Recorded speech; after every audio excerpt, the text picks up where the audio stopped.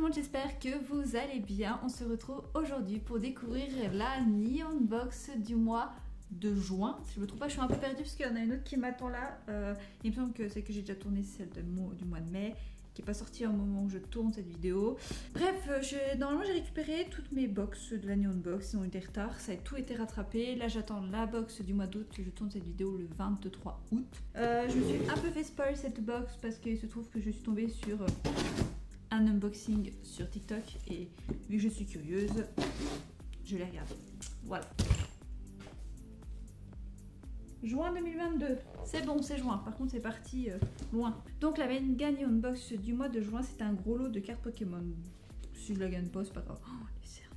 Alors, dans cette box, nous avons un petit mochi mascotte, donc Fruit, Fruits Basket, une figurine Megumi de Jujutsu Kaisen, un Furin Mochi, motif Uchiwa, donc les éventails, euh, une décoration murale Toilet Band Anakokun, une casquette Moi je me réincarne en slime, et une petite confiserie réalisée avec des haricots azuki cuits dans du sirop puis asséchés, machin machin. Ok, dans un premier temps, nous avons la petite casquette Moi je me réincarne en slime.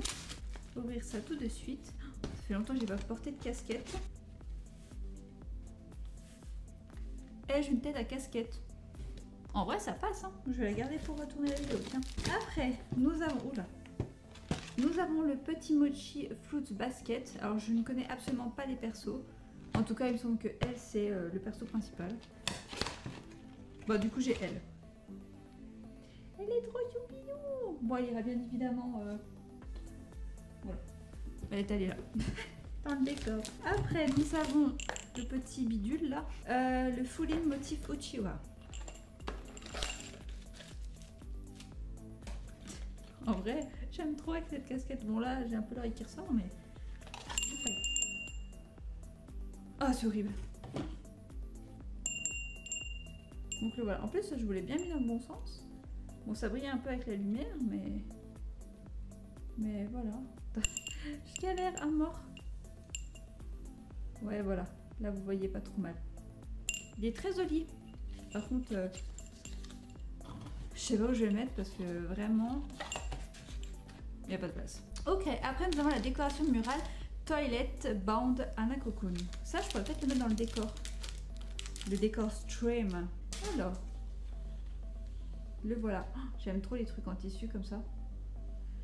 Il est super beau et hyper quali. Du coup, ça s'accroche comme ça. Quoique après, euh, bon là vous le voyez pas, mais j'ai un petit clou ici. Bah en fait il est accroché là. Ça rend trop bien ici. Bref, après nous avons les petites sucreries qui donnent absolument pas envie. Je vous montre le paquet quand même. Vraiment. Donc ce sont des petites sucreries. Euh, donc c'est des confiseries réalisées avec des haricots azuki cuits dans du sirop puis séchés avant d'être saupoudrés de sucre. Oh, ça sent bon. Je vais essayer de vous montrer l'intérieur. Qui ressemble à ceci. Ça sent bon.